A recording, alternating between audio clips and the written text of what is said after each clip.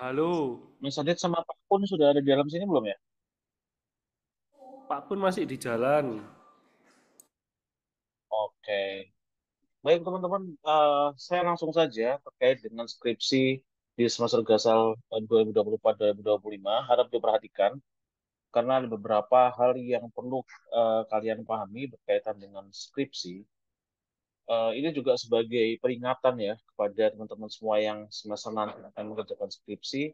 Harap pastikan beberapa hal karena di semester genap kemarin eh, itu ada delapan mahasiswa yang batal lulus akibat kurang SKS dan tidak eh, apa namanya kurang SKS dan tidak memprogram skripsi di KRS.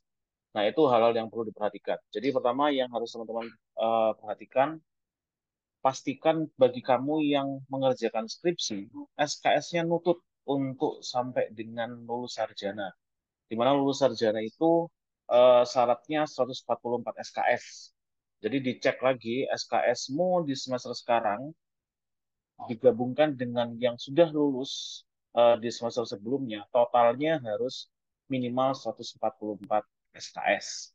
Itu yang pertama. Dan yang kedua, pastikan juga kalau skripsi sudah terprogram di KRS, termasuk yang nantinya juga akan melakukan perpanjangan skripsi. Yang semester lalu nggak selesai skripsinya dan melakukan perpanjangan, tetap eh, melakukan eh, atau tetap memprogram skripsinya di KRS. Karena kalau nggak kamu program, maka kamu juga bisa tidak lulus walaupun sudah sidang skripsi nantinya. Dua hal itu yang perlu diperhatikan eh, di awal kepada teman-teman semua agar nanti tidak eh, terjadi hal-hal yang tidak diinginkan di kemudian eh, hari. Baik, saya mau share screen sebentar.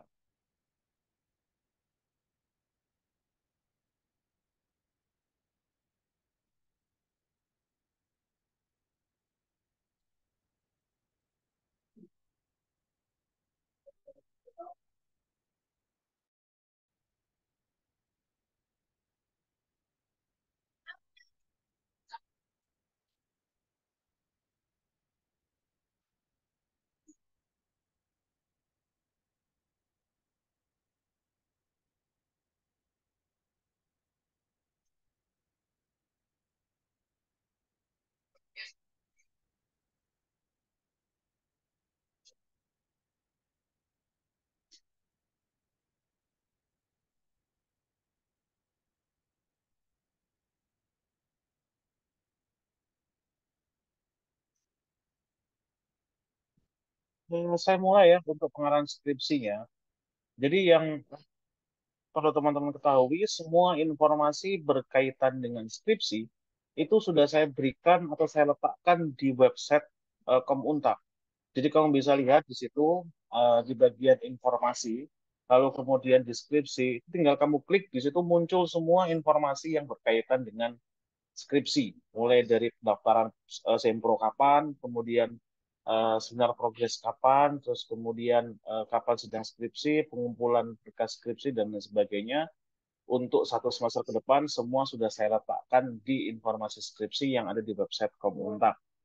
Jadi kalau kamu bingung, eh, butuh informasi, sebelum kamu tanya eh, ke Prodi, pastikan dulu kamu lihat di website, karena semua informasi sudah ada di situ. Nah, ada dua kondisi di dalam eh, memprogram skripsi. Ada mahasiswa yang memprogram skripsi baru, dan ada mahasiswa yang memperpanjang eh, skripsi. Mahasiswa eh, program skripsi baru ini eh, kondisinya dua. Pertama, mahasiswa yang memang benar-benar baru memprogram skripsi, dan yang kedua, mahasiswa dengan beberapa ketentuan yang dia sebelumnya sudah mengerjakan skripsi, tapi karena eh, beberapa ketentuan maka dia masuk ke program skripsi baru. Nanti saya eh, terangkan bedanya seperti apa.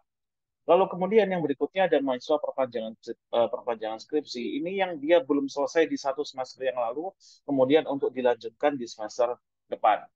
Nah, untuk yang masa perpanjangan skripsi ini, diperhatikan beberapa kondisi berikut. Ini hal-hal yang nantinya menentukan pada saat kamu perpanjangan skripsi, nanti eh, apa yang harus kamu lakukan, nah ini sesuaikan dengan ketentuan yang ini. Nah, ketentuan yang pertama, bagi mahasiswa yang baru pertama kali mendaftar skripsi, nggak ada masalah ya, tinggal daftar aja di program skripsi, di program skripsi baru. Kalau di A gampang, jadi yang baru pertama kali mendaftar skripsi, langsung aja ikuti uh, alur yang ada di program pendaftaran skripsi baru.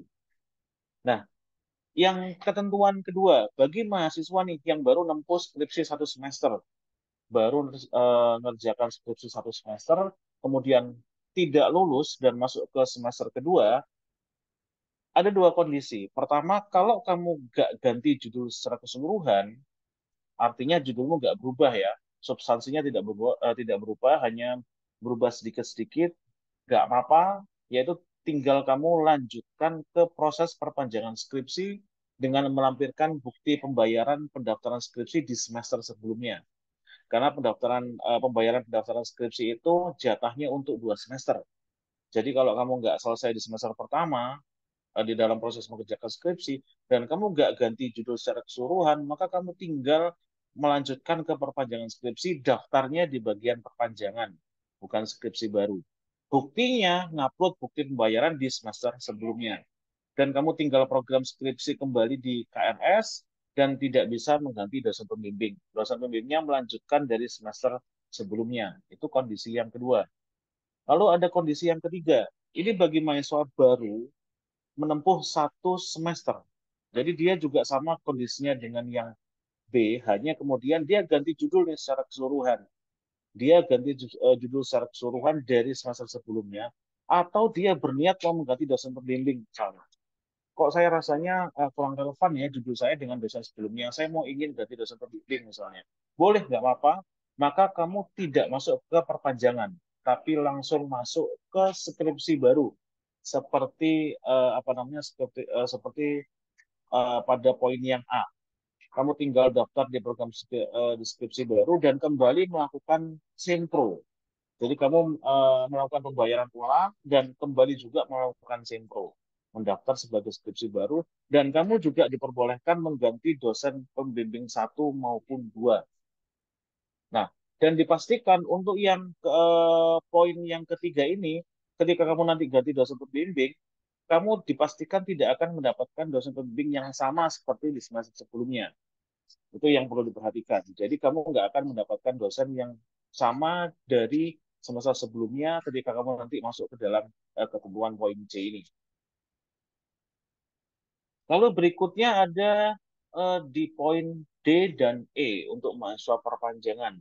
Kalau ketentuan di D itu uh, mahasiswa yang sudah menempuh dua semester, artinya dua semester masih belum lulus juga nih skripsi, dua semester dan masuk ke semester tiga, kalau kamu gak ganti judul secara keseluruhan, artinya substansimu tidak berubah, dan kamu juga tidak mengganti keseluruhan dosen pembimbing, hanya mengganti salah satu dospem saja misalnya, entah dospem satu atau dospem duanya, maka kamu tinggal langsung daftar ke perpanjangan skripsi. Tidak perlu sidang proposal atau tidak perlu sempro, tetapi tetap melakukan pembayaran pendaftaran skripsi. Kenapa? Karena jatah dari skripsi tadi, seperti yang saya sampaikan, itu jatahnya hanya dua semester ketika kamu masuk ke dalam semester 3, maka kamu kalau pada posisi poin D ini, kamu langsung masuk perpanjangan, nggak perlu sempro, tapi tetap membayar pendaftaran skripsi atau pendaftaran uh, skripsi baru.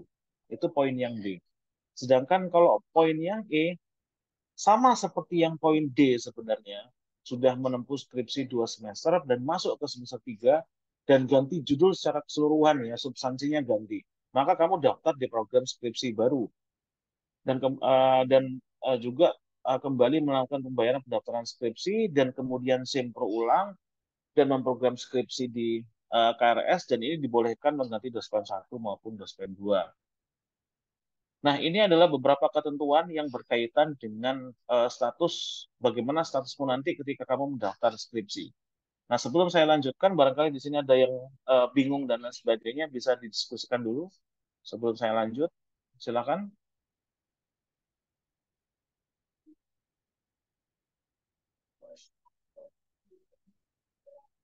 Jelas semua? Oke, kalau begitu saya lanjut. Gimana, gimana? Pak Insan, saya mau tolong tanya. Uh, kondisi saya kan skripsinya dua kali tidak mengikuti kan, Pak. Nah, setelah itu yang mengikuti uh, semester ini itu mengikuti mau ikut lagi skripsinya, berarti maksudnya perpanjangan atau daftar ulang baru, Pak? Nah, ini kamu uh, kan kamu Ivan kan sudah mengerjakan dalam dua semester, Ivan ya. Iya, Pak. Ah, kamu eh, ganti substansi tidak? Eh, tidak, cuman ganti dikit aja dari Perhumas Surabaya ke Perhumasnya Ekoton. Nah, berarti kamu masuk ke poin D. Kamu nggak ganti judul secara keseluruhan, maka kamu Iya. masuk poin D. Jadi kamu eh, tinggal masuk ke perpanjangan, terus kemudian eh, kamu upload aja bukti skripsi pendaftaran yang baru, karena kamu sudah sudah dua semester sebelumnya dan sekarang masuk semester tiga, maka masuk ke semester tiga itu eh, kembali melakukan pembayaran, tapi tidak perlu sempro. Oke, baik, Pak. Terus ini, Pak, dosennya kan sebelumnya eh, saya kan adanya Bu apa Pak dosen pertamanya Pak Edi, keduanya Bu Beta. Sedangkan di pilihannya itu kan nggak ada Pak Edi sama Bu Beta. Berarti masuknya tetap perpanjangan atau? Maksudnya perpanjangan. Nanti Maksudnya kalau misalnya nggak ada, oh, kalau per, kalau perpanjangan kan ngisi sendiri, Oh iya, iya, oke, oke. dosennya ngisi sendiri kalau perpanjangan. Oke, baik, Pak. Hmm. Iya. Kalau misalnya nganti salah satu, misalnya Pak Edi sama Bu Citra gitu, maksudnya perpanjangan atau enggak? baru, Pak? Masuk perpanjangan, masuk perpanjangan, Perpanjangan. masuk poin D. Oh Kan iya, kamu eh, sudah dua kali, kalau sudah dua kali dan masuk tiga dan belum lulus, itu boleh ganti salah satu dospennya. oke, baik, Pak. Oke, Oke, siap. Makasih, Pak ya. oke, Van. Lanjut, siapa lagi?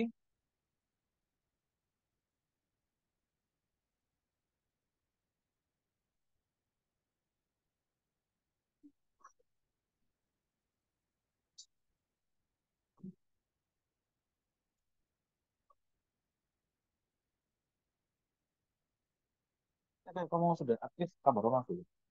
Inputkan ke RS-nya. Hmm. Baik, eh, saya lanjutkan. Sekarang mekanisme untuk pendaftaran skripsi baru. Nah, gimana sih cara eh, mekanisme memilih dosen pembimbing? Nah, dosen pembimbing ini nanti Anda dipersilahkan untuk eh, memilih dosen pembimbing sendiri, asalkan pembimbing tersebut masih di dalam batas kuota yang ada. Jadi nanti di dalam skripsi baru itu nanti ada pasangan dospen. Pasangan dospen itu bisa kamu pilih sesuai dengan eh, mana yang kamu inginkan dan sesuai dengan eh, relevansi relevansinya dengan eh, apa namanya dengan eh, judul yang kamu ajukan. Nanti kamu tinggal pilih pasangan dospem, tapi sekali lagi yang perlu diperhatikan, belum tentu kamu mendapatkan dosen yang kamu pilih. Karena nanti eh, akan kita lihat relevansinya ke mana, dan kemudian dilihat eh, batas kuota maksimal dosennya berapa. Itu yang perlu diperhatikan. Tapi kamu tetap diberikan kesempatan untuk bisa memilih dospemnya. Terus kemudian, sebentar ya, sebentar.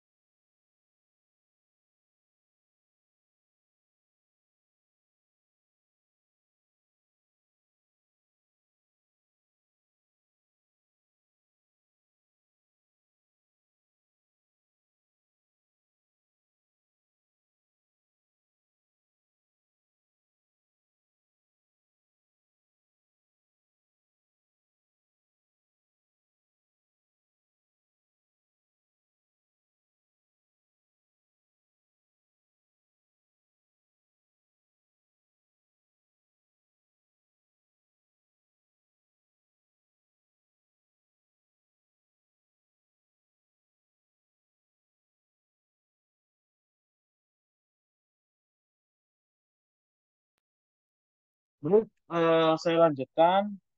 Terus kemudian berkaitan dengan mekanisme pengajuan judul skripsi. Kalau judul skripsi ini nanti eh, ber, eh, apa namanya sos yang utama atau judul utama diambilkan dari kamu waktu seminar komunikasi.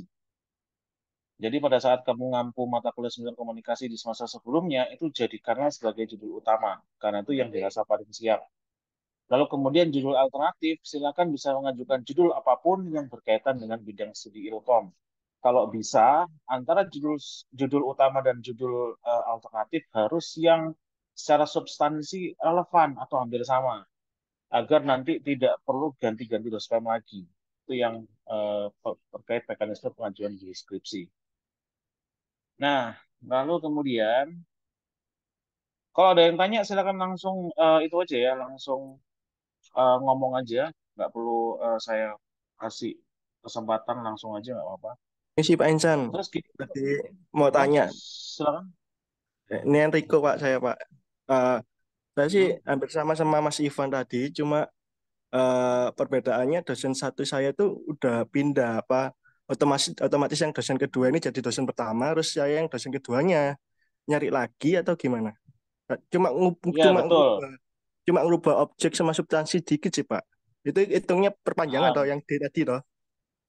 Perpanjangan yang D. Nanti dospem 2 mau menjadi dospem 1, dospem 2-nya nanti kamu milih. Oh iya. Iya Pak. Eh sih Pak.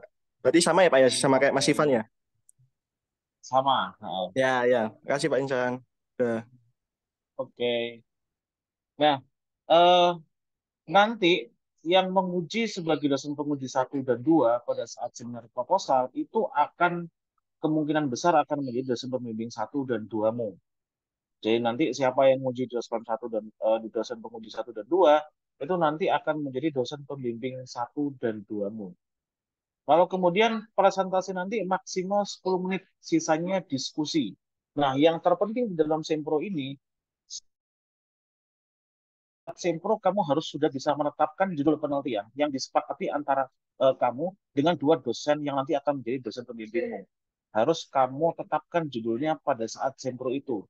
Jangan mau kamu nanti ketika uh, keluar dari ruangan masih belum ketemu judul penelitiannya. Itu jangan sampai. Karena kalau kamu terjadi uh, belum fix ya ketika sempro selesai, maka kamu akan kebingungan nanti dalam proses pengerjaan skripsi dan akan uh, menjadi lebih lama lagi. Maka pastikan nanti pada saat sempro harus bisa fix judul yang nantinya disepakati antara ketiga belah pihak itu uh, risetnya mengenai apa. Nah, lalu kemudian bawa juga dua berkas hard copy proposal skripsi yang sesuai dengan outline ya. Outline-nya nanti uh, ada uh, di bawah ini dan nanti diberikan ke masing-masing penguji. Tapi seharusnya outline proposal skripsi nanti semuanya sudah uh, sama persis seperti ketika kamu mengerjakan tugas di mata kuliah seminar komunikasi. Harusnya sama. Lalu kemudian apa yang harus kamu paparkan di PowerPoint-mu nanti, silakan mengikuti outline dari proposal skripsi itu yang nantinya disajikan di dalam sebuah uh, PowerPoint presentasi. Itu ya, teman-teman. Nah, dari sini dulu ada yang mau ditanyakan nggak? Sebelum saya lanjutkan apa yang harus dilakukan setelah mengikuti sidang proposal. Silakan, barangkali ada yang mau tanya.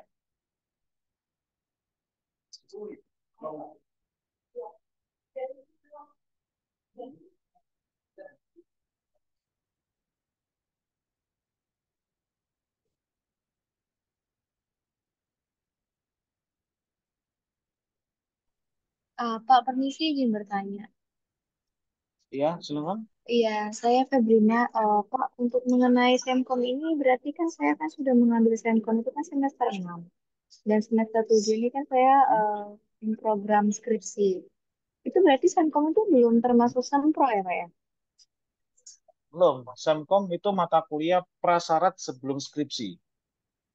Jadi nanti oh, uh, sebelum sebelum skripsi nanti kamu akan ada sidang proposal. Oh oke okay, baik Pak. Oke Pak, terima kasih. Oke, silakan siapa lagi? Uh, izin bertanya Pak, saya Gantari. Untuk uh, proposal skripsinya ini dipresentasikan di tanggal berapa ya Pak? Nah, nanti di bawah-bawah itu ada kalau timelinenya. Oh, baik. Terima kasih, Pak. Oke. Nah, eh, saya lanjut dulu kalau begitu. Nanti setelah kamu mengikuti eh, sidang proposal skripsi, langkah-langkah yang harus kamu lakukan adalah silakan kamu nanti mengisi data kartu bimbingan di link yang ada di website. Nah, ini di website itu sudah ada eh, di bagian informasi eh, skripsi, di bagian input data kartu bimbingan setelah Sempro. Pastikan kamu inputnya di bagian eh, setelah Sempro Gasal 2024 ya. Gasal 2024-2025. Nah, setelah kamu input di situ, kamu silakan mengambil kartu bimbingan di PU pada saat jam kerja.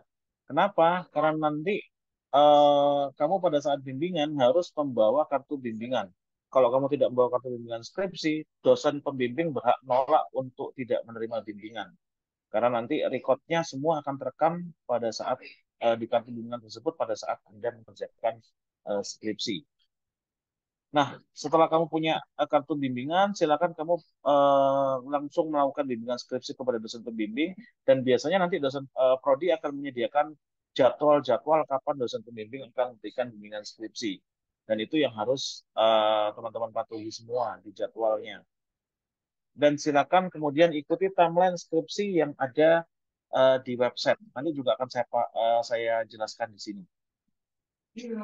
Nah, ini untuk ketentuan mengerjakan skripsi ya, teman-teman. Yang pertama, kamu harus mengutip jurnal dari dosen sebagai tambahan referensi, minimal dari dua dosen.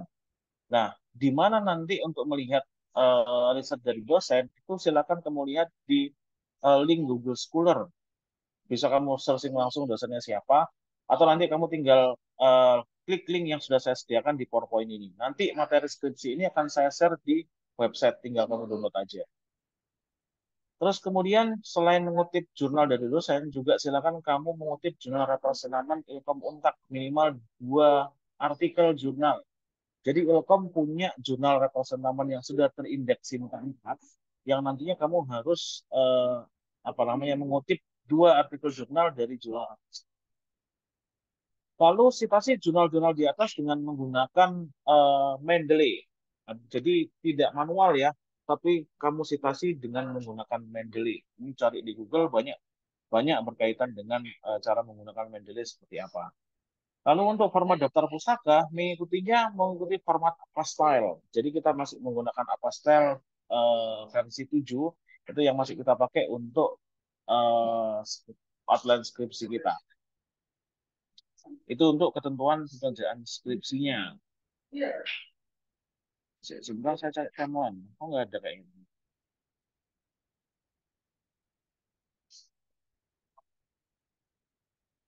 Sebentar.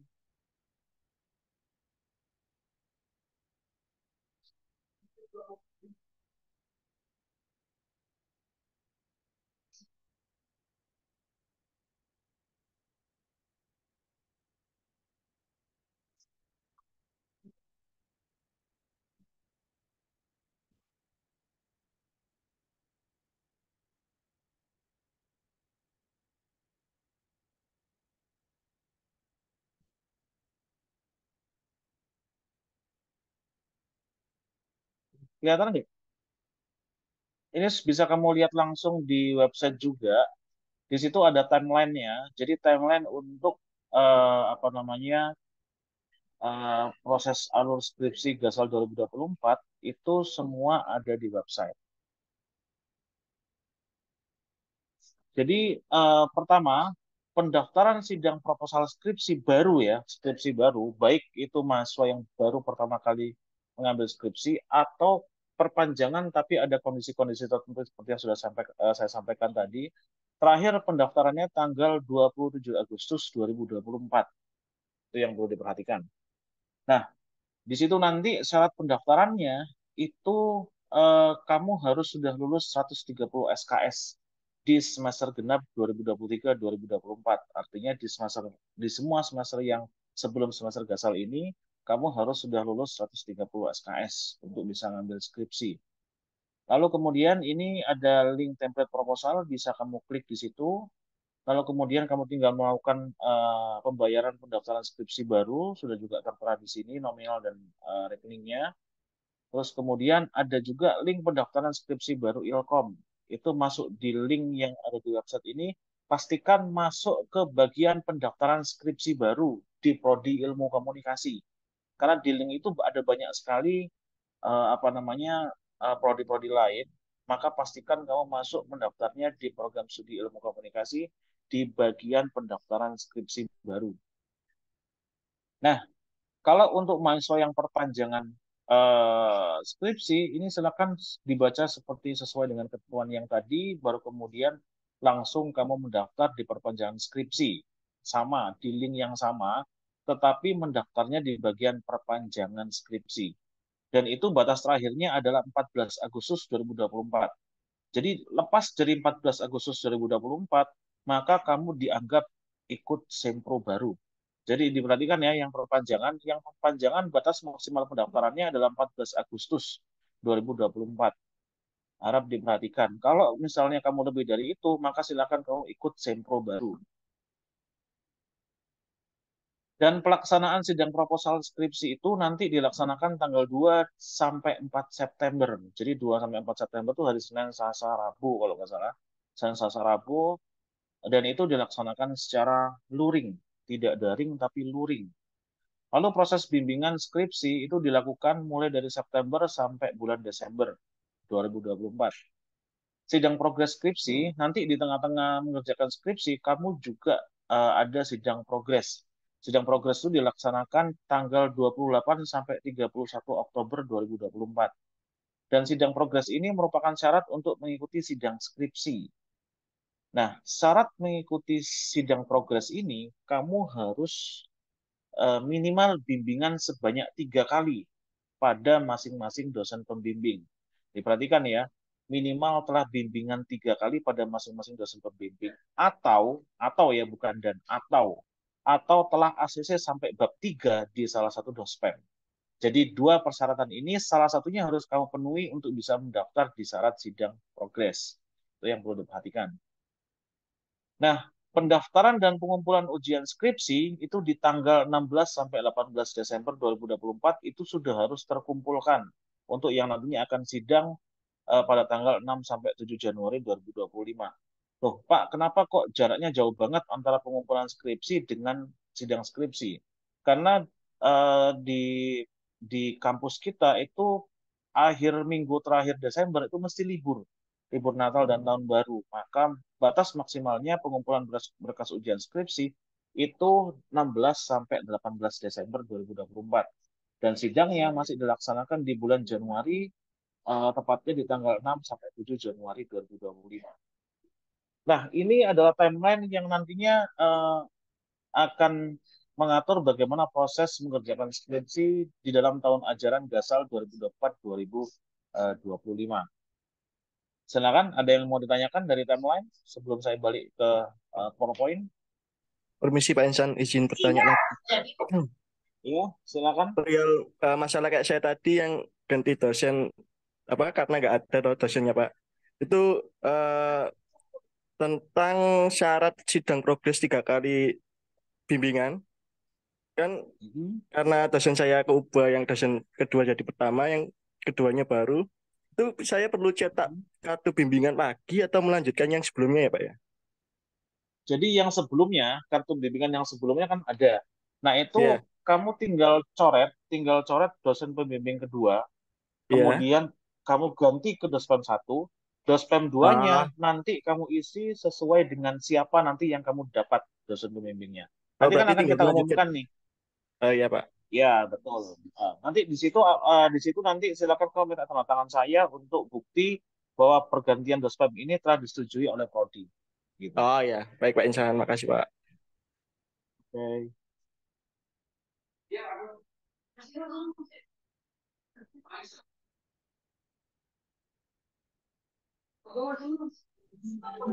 Permisi Pak Insan, saya ingin bertanya.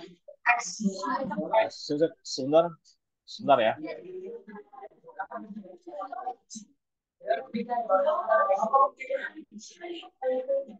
Tunggu sebentar Mas ya. Gimana? Gimana, Rida? Eh, terkait sidang progres, saya semester kemarin kan sudah melaksanakan sidang progres. Apakah di semester ini saya tetap eh, melaksanakan sidang progres juga, Pak? Tetap. Jadi yang sudah semester lalu semuanya tidak masuk ke dalam persyaratan yang ada di semester sini, di semester ini. Jadi yang sudah semester lalu sudah mengikuti seminar progres, karena memang seminar progres itu eh, syaratnya untuk mendaftar sidang skripsi di semester yang berlaku, maka nanti di semester gasal harus ikut seminar progres kembali. Begitu. Oh, berarti tetap ikut seminar progres juga ya, Pak? Iya, betul. Baik, terima kasih banyak, Pak Nisan. Oke. Nah, sekarang saya lanjutkan. Nah, ada beberapa kewajiban pada saat Anda akan lulus eh, program sarjana. Ini eh, apa namanya kewajiban-kewajiban yang perlu diperhatikan. Yang pertama, lulus dengan minimal 144 SKS. Jadi total SKS keseluruhan di dalam program sarjana itu harus lulus minimal 144 SKS. Karena itu cek kembali semas eh, SKS yang sudah lulus dengan yang sekarang harus minimal 144 SKS. Lalu kemudian kamu juga harus lulus sidang skripsi.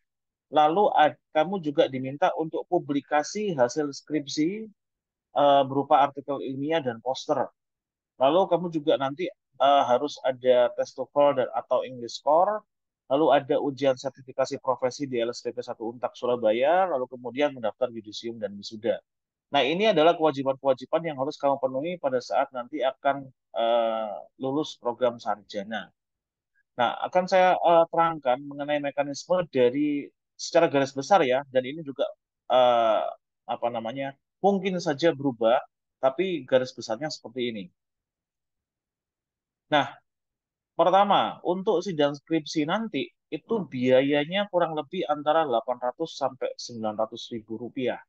Itu yang perlu diperhatikan. Jadi kalau kamu nanti mau lulus, persiapkan kebu- eh, kebutuhan administratif juga karena nanti ini yang memang nanti harus Anda selesaikan.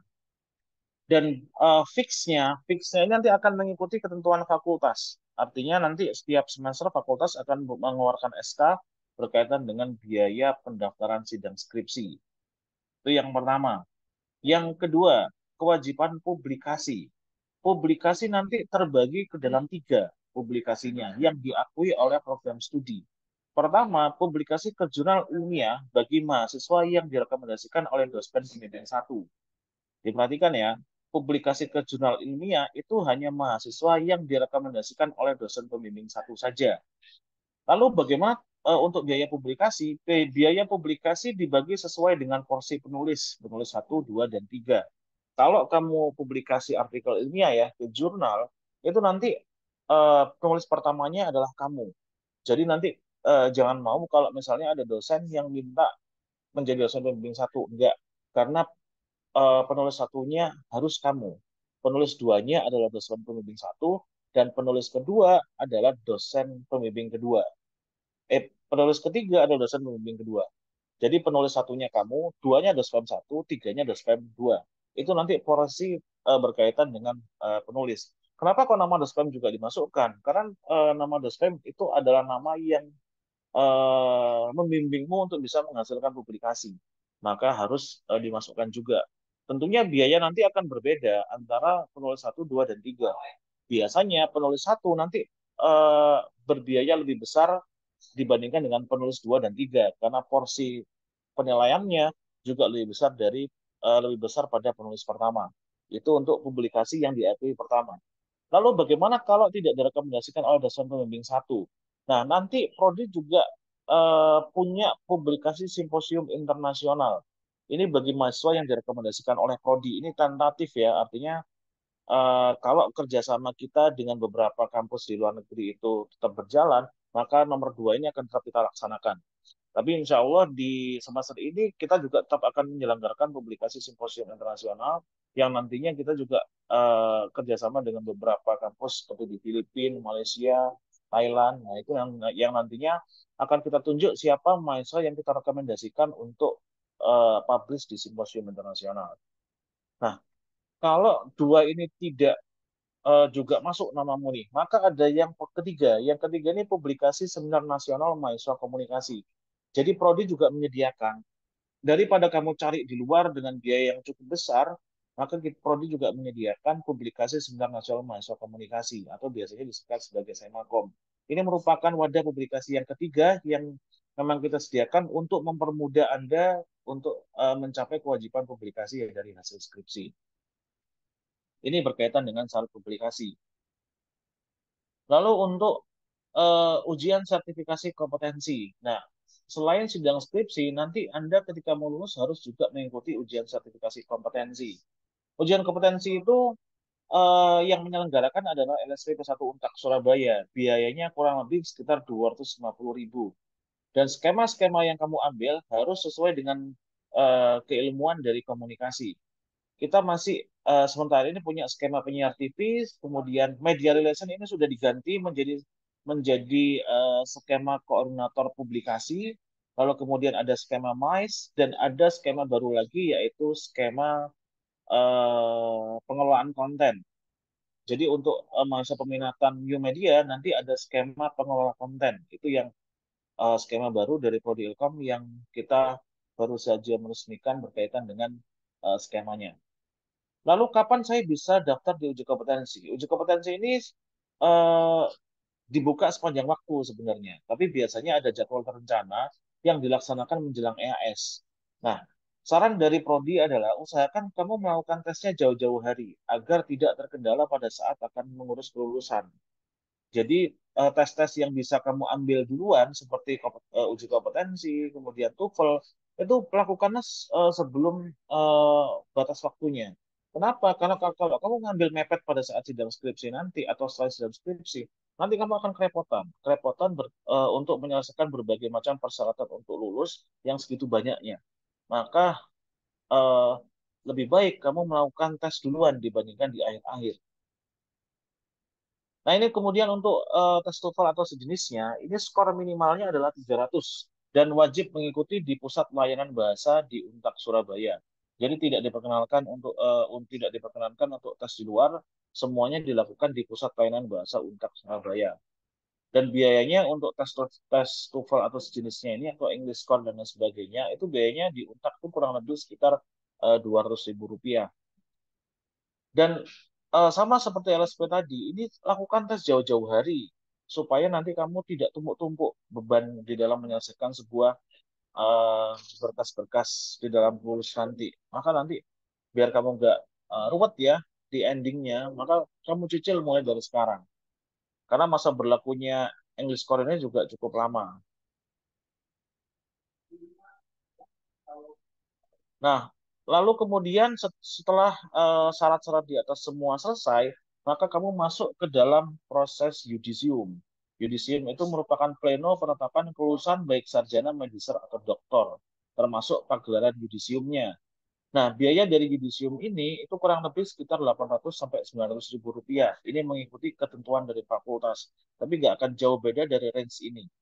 Ini setelah uh, persyaratan-persyaratan tadi, maka kemudian masuk ke dalam yudisium. Setelah ditetapkan di yudisium, maka kemudian kamu masuk ke dalam daftar yang eligible untuk wisuda. Jadi setelah lolos dari yudisium, maka kemudian tahap terakhir yaitu wisuda. Di mana wisuda nanti, uh, di wisuda nanti kamu juga uh, akan langsung mendapatkan ijazah. Jadi ijazah nggak pakai nunggu, setelah semua selesai pada saat uh, wisuda, kamu nanti langsung diserahkan ijazahnya. Biaya kurang lebih 1.450 untuk program sarjana dan kembali lagi ini mengikuti ketentuan dari universitas. Tapi sejauh ini uh, tidak akan berubah dari range ini. Lalu kemudian yang teman-teman perlu perhatikan, ada dua hal yang harus uh, diperhatikan. Segala bentuk plagiat akan diberikan sanksi. Jadi uh, ketika kamu mengerjakan skripsi, harap pastikan bahwa kamu memang mengerjakan itu uh, kamu kerjakan sendiri atau gak kopas sana sini karena segala bentuk uh, plagiat sekali lagi kalau kamu nanti ketahuan akan diberikan saksi uh, sanksi. Dan sanksi yang terberat yang pernah diberikan prodi untuk yang plagiat kelulusannya ditangguhkan selama satu semester dan mengulang kembali mengerjakan skripsi se uh, sebagai proses skripsi baru. Itu adalah eh, apa namanya punishment yang pernah diberikan prodi kepada mahasiswa yang ketahuan plagiat. Sedangkan yang kedua, segala bentuk pemalsuan tanda tangan juga akan diberikan sanksi. Eh, banyak juga yang mungkin nanti kepikiran ketika sudah mepet kemudian malsu tanda tangan dosen pembimbing. Nah, itu yang perlu diperhatikan. Kalau kamu ketahuan, kamu juga akan beresiko untuk diberikan sanksi. Dan sanksinya yang pernah diberikan oleh prodi sama mengulang eh, apa namanya mengulang skripsinya dari nol lagi. Karena dua hal ini merupakan hal-hal yang perlu diperhatikan sehingga tidak perlu kamu lakukan. Nah, eh, hal-hal inilah yang ke, eh, yang perlu kamu perhatikan di dalam proses pengerjaan skripsi nanti di tahun ajaran Gasal 2024-2025. Silakan barangkali ada yang kurang jelas bisa ditanyakan.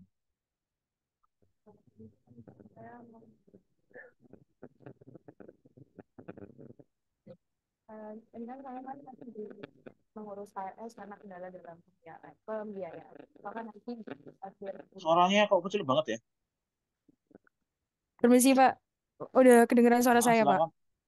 Sudah, ini sudah. kan eh, saya ada kendala dalam pengurusan KRS karena belum bayar SPP. Nah, eh, apakah saya masih bisa pada saat KRS susulan nanti bisa mengambil pro- apa program skripsi Pak, meskipun itu mepet dengan sidang proposal. Terima kasih. Masih bisa, masih bisa. Asal eh, untuk mahasiswa yang nantinya mem- memprogram KRS-nya telat ya mengikuti susulan, nanti eh, asalkan sebelum eh, proses sidang proposal dilakukan, maka masih bisa kita sesalkan. Gitu ya, Edri, Edri ya. Oke, terima kasih Pak. Pokoknya. Oke, heeh. Saya waktu sempro disuruh ganti judul semua. Nah, kalau waktu sempro kan kamu sempro di semester lalu ya Muhammad Ilham. Maka kan pasca sempro kan ganti judul. Nah, ganti judul itu kan juga melewati sempro. Maka kamu nggak perlu sempro lagi, langsung perpanjangan. Terus Muhammad Zulkarnain, untuk skripsi lanjutan, kata bimbingan cetak atau mengisi ulang dari awal atau sama? Lanjutkan aja Zulkarnain. Untuk yang perpanjangan, kartu bimbingannya langsung lanjutkan saja. Perlu cetak ulang. Cecil, mengutip dua dosen ini apa harus dosen kita, Pak? Tidak. Mengutip dua dosen ini bebas mengutip siapa pun, yang penting dosen ilmu komunikasi. Kemudian, untuk yang baru mengambil skripsi kan judulnya harus sama sih dengan Skom. Namun saya kan masih belum sesuai dengan konten yang sudah ada. Boleh, nggak apa-apa. Tanpa dospem, kamu eh, revisi sendiri sesuai, artinya kamu sempurnakan, boleh. Pak. Terus kemudian, nah untuk cas apa ya, cahaya, bagaimana kemudian dengan yang jadwal bimbingan tabrakan dengan jam kerja. Kemudian, lalu proses apa yang bisa kami dapat? Tuh, bukan dosen langsung. Nah, begini, berkaitan dengan dosen pembimbing yang jam- yang eh, yang tabrakan dengan jam kerja, dospem itu sudah disediakan dua waktu, pagi dan malam. Maka untuk kamu yang kerja di pagi, maka bisa ikut bimbingan malam. Kalau bimbinganmu eh, eh, kamu kerjanya malam, is- bisa ikut di jadwal bimbingan pagi. Salah, saya rasa ini hal-hal yang sangat mudah untuk bisa dilakukan asalkan kamu punya kemauan.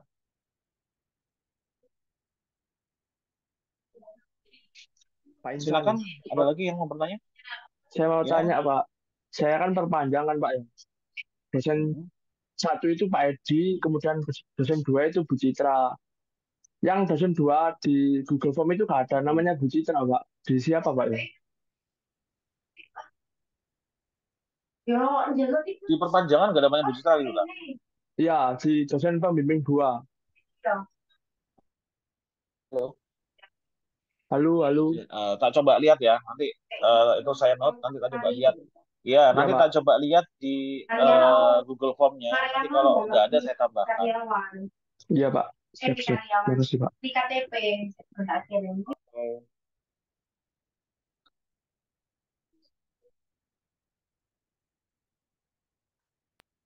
Eh, Pak, permisi izin bertanya. Eh, untuk yang bagian tes TOEFL itu berarti eh, dari Unpad itu proficiency English atau TOEFL yang ITP ya Pak ya?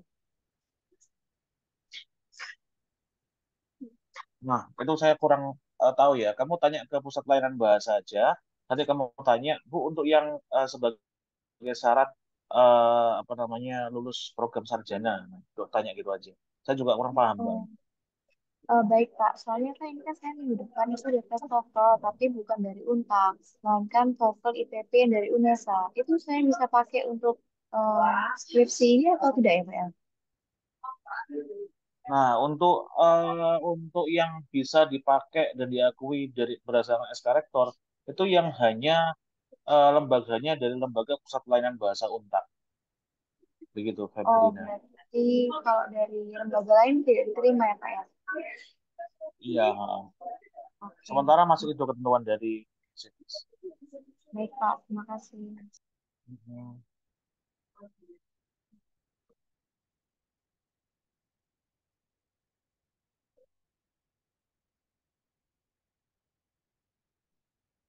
Silakan, siapa lagi?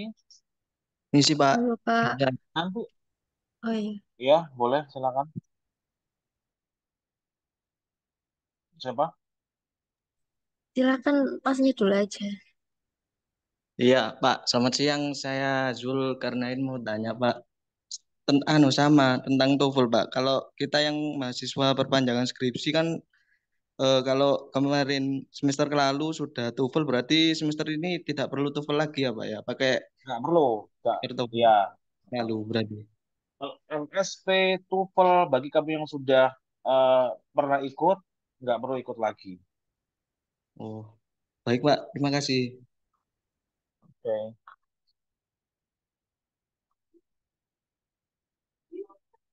Lanjut, siapa lagi? Ya, saya halo Pak.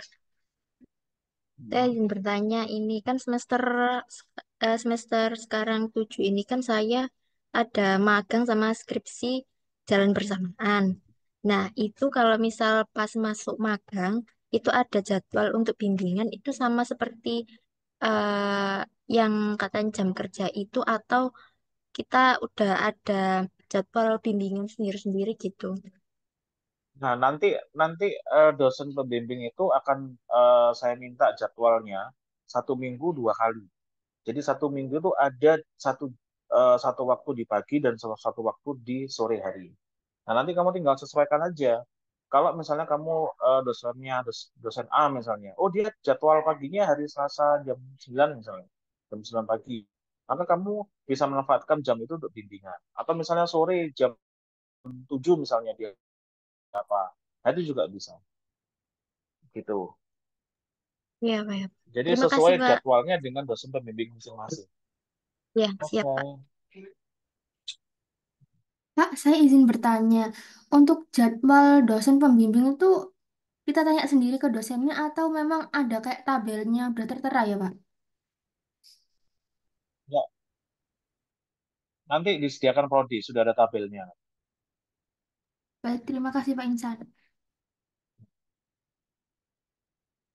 Safira Nurtias, Pak, kita milih dosen pembimbing kapan, Pak? Pada saat kamu daftar. Jadi pada saat, pada saat kamu daftar, nanti kamu bisa milih dosennya langsung. Tapi sekali lagi ya, belum tentu kamu dapat sesuai dengan apa yang kamu ajukan. Tergantung dari eh, kuota dosen dan relevansinya dengan keilmuan dosen. Gitu.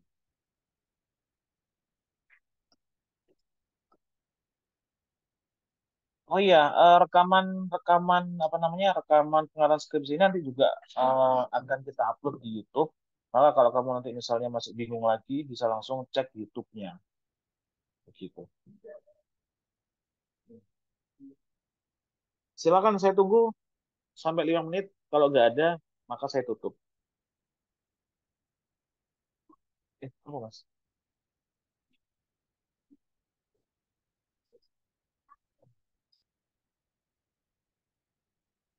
Hmm.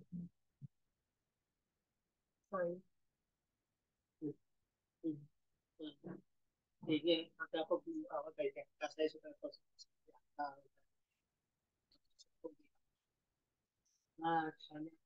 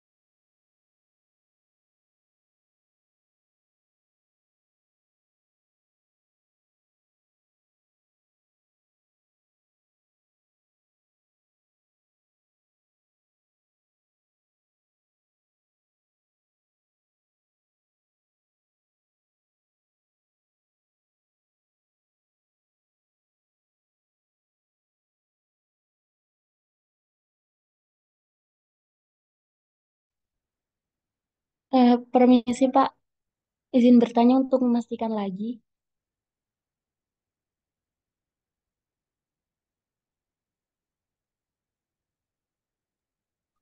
Ya, silakan. Eh, ini untuk judul, semisal judul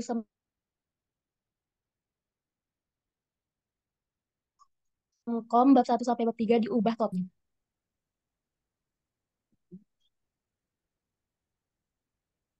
Halo. Halo Pak. Hmm. Halo apa Gimana Kak? gimana? Sorry, Oke, saya ulangi lagi. Kalau misalnya judul Semkom bab 1 sampai bab 3 kan ya Pak. Terus kita mau ada niatan untuk rubah total judulnya, apakah boleh ya Pak untuk pengajuan sempronya? Ya, nggak apa-apa sih sebenarnya. Tapi kan eh, resikonya kan itu bukan judul yang kamu ajukan kan pada akhirnya bukan dari hasil bimbingan di Semkop. Sehingga nanti eh, apa namanya potensi untuk bisa sedikit lebih bisa lebih berat itu kan juga semakin besar. Nggak apa-apa sebenarnya. Oh, oke Pak, makasih banyak. Ya. Eh, sudah, sudah nih. Cek, cek kan bisa. Sudah hilang kok.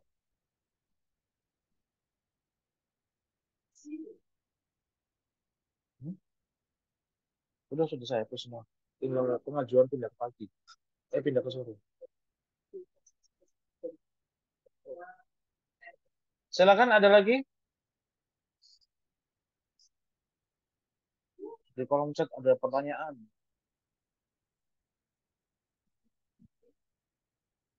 Mana ya ini ya pertanyaannya? Eh, syarat kelulusan itu minimal 144 SKS. 144 ya. Hanya memang kadang ada karena ada perubahan-perubahan kurikulum, ada yang sampai 144, eh 145, ada yang sampai 146, nggak masalah. Yang penting minimal 144 SKS.